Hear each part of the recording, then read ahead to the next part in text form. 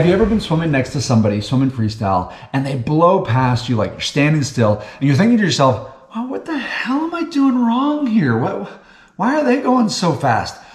Well, today is your episode. This is the What the Hell Am I Doing Wrong on Freestyle episode. Here we go. First, let's look at good freestyle, or at least decent freestyle. Here I am stretching it out, pretty good body position high in the water because my eyes are down, my hips are up, elbows are high coming out over the water, arms out front are high in the water. Good rotation from the hips, small tight kick behind me. Okay, now let's talk about the mistakes. Let's start with rotation. Most people don't rotate or they don't rotate properly. They do it all from their shoulders and you can see how it gets you twisted up. Imagine your body is like a cylinder of dough. And if you want to roll that dough evenly, you need to do it from the center. Because if you only do it from one of the ends, it's going to get twisted up, it's going to get messy. You are that cylinder of dough. And so a great drill for this is, yep, if you saw the last episode, you guessed it, rotation drill. Except this time we're looking down. So it looks like this. When you do this, again, you really work the hips, drive the hips down, bringing the shoulder to the chin not the shoulder working independently. Bring the shoulder to the chin and breathe every three rotations. Very important when you take a breath, you go with the body. Everybody, when I introduce this drill, what they do is they rotate and then they turn their neck to take a breath. They do it in two parts. Do it in one part. Swimming is all about efficiency and synchronicity. Use your body parts, make them work together, not independently of each other. You got to have a tight kick when you do this so the legs don't get crossed up. Because if you don't do this properly with everything coming from the core and the hips, then it looks like that rotation drill that we did for backstroke where you get twisted up and your body moves left to right in the water, just like when you're swimming. The second problem, and this has to be the most common in all of freestyle, is people looking forward. It's human nature. We want to see where we're going, but we don't get that luxury in swimming. We don't get many luxuries at all in this sport. You've got to look down and trust that that black line is going to tell you when the wall is coming. Because if you don't, if you look forward, then it looks like this where your hips are down. You can see right there, I'm not getting my butt cheeks up. Your butt cheeks should feel the air on the surface.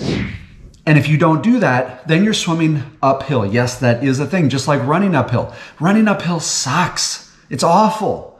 Swimming uphill sucks. It's awful. It slows you down because of the resistance that your hips are hitting. And so you've got to get those eyeballs down.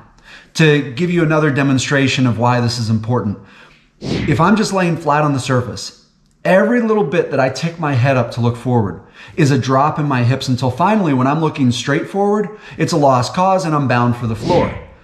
You want to swim downhill, getting the hips and the legs up on the surface because believe it or not, there is a wave coming in behind you that can pick you up and help you ride forward, or it can suck you under. When you finish into the wall fast, Notice how the waves come crashing in behind you. Those waves are always there. You want to ride those suckers. You don't want to get caught under, underneath them. The third problem we see a lot of is people thinking about their arm movements as being hand driven. I'm going to bring my hand to the front where I'm going to pull with my hand. And that sounds logical. I get it. But there's two problems with it. One, it's a weaker pull. You're probably going to bend a bit at the wrist and you're not going to use your forearm to get more water.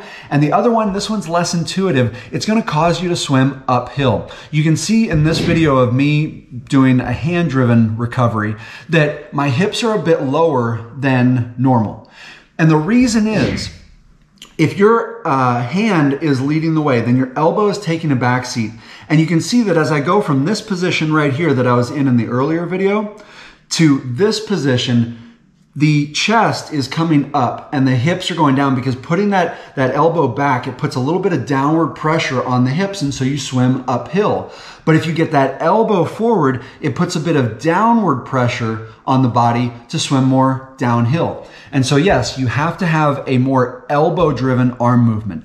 The elbow brings the hand to the front and then out front, the elbow gets the arm into place so the elbow is going forward and up to bring the hand and forearm into a catching position. as one unit. We don't want this motion when we're pulling. We want this to operate as one unit so that we can get the most water possible. All right, I'll give you one more to think about. Problem number four, crossing the midline. Whew, sounds scary, I know. The midline is an imaginary line that runs down the middle of your body, and it is a very important concept in long axis swimming, freestyle, and backstroke. You never want to cross it. When you cross your midline, you can see here in this video how my fingertips are jutting across that midline as I pull. What happens is one, you lose uh, a lot of power in your pull, it becomes much weaker, and two, you get more twisted up, which if you already are doing a shoulder driven rotation, that's gonna make the dough, you, really messy and we don't want that. Instead, when we pull, we want our fingertips to point down as early as possible in the catch without bending the wrist, as you can see here, and keeping the fingertips pointed down all the way through to the back end of the pull. There you have it. Those are four of the most common problems that I see in freestyle. As always, I hope this helps you swim different and swim faster. Good luck.